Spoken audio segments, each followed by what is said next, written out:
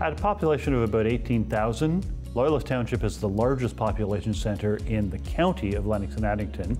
Council has made asset management a priority as one of our strategic objectives and established an asset management governance structure to foster a collaboration across all departments and service areas to build internal capacity in developing and implementing Loyalist Asset Management Plan. We leveraged support from a number of organizations and encouraged our staff to actively participate in their training programs. Our council members, as stewards of our infrastructure assets, now have a better handle on identifying our most urgent needs and for cost saving opportunities.